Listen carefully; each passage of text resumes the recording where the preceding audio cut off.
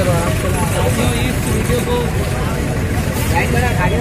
तो आगे ऊपर आ जाए इधर देखो